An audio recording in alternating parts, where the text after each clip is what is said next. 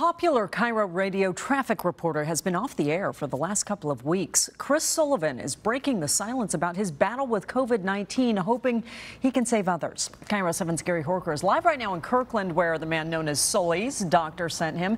And Gary, this is a very energetic guy. Anyone who's listened to him on the radio knows this. But he wondered if this was going to be the end of him. Absolutely, and that's why he says he's burying his body and soul to kind of give a cautionary tale. Sully had to be rushed to Evergreen Health here in Kirkland three different times because he lost so much weight. He was so weak, he was a mess. He had to get an IV and get his oxygen levels checked. Now, in case you think he's a vaccine denier, he's not. He had plans to get the vaccine, but he also had travel plans to go to Montana, and he hesitated because he worried about the side effects. Welcome to today's Choke Point. Morning commuters know KIRO Radio's Chris Sullivan as Sully the traffic choke point guru. But when he caught COVID two and a half weeks ago, he wondered if he would survive it. Sully, how you feeling? If I was 20%, I think that's probably where I'd put it but 20% is a hell of a lot better than the zero I've felt for the last two weeks. Chris had family travel plans and long drives to make to see his son Tommy, a long snapper at Montana State.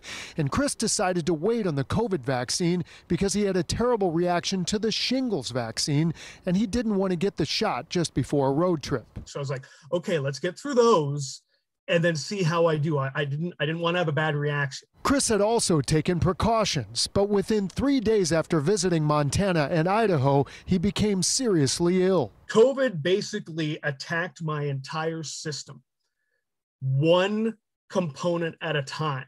It was almost like it was toying with me. Chris had to rush to the ER at Evergreen Health three times. He was too sick to even eat for 10 days. And it just kept kept moving methodically and testing and like jabbing and poking my perimeter. And every time I fought, it decided, okay, fine. I'm going somewhere else. And it just systematically, it was relentless. It hit everything. And the once stocky, strong guy took this photo to show his listeners how a lot of his body mass was gone in days. But I lost 23 pounds of muscle. I mean, my body just ate itself. I mean, thank God it was there. Now he's sharing his story as a cautionary tale for people hesitant to get the vaccine. I probably should have, if I was able to earlier, just go ahead and get that COVID shot. I'm getting the message from you, Sully, that you really shouldn't let your guard down.